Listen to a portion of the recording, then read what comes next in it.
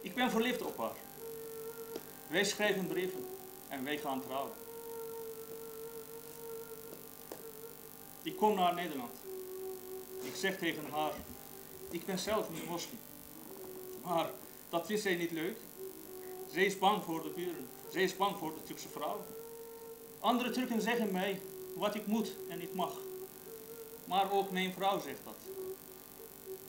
De eerste jaren hebben wij heel moeilijk. Mijn vrouw was gelijk zwanger. Toen ben ik gaan vechten. Zo hebben wij elkaar leren kennen, werden verliefd.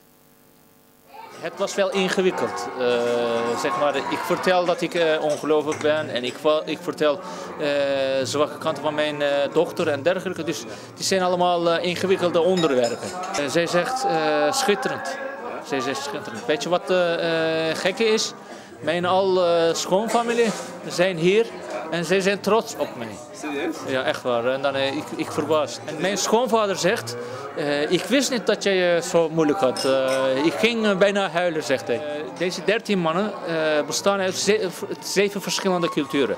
Dus al die onderwerpen, al die onderwerpen zijn verschillend per cultuur.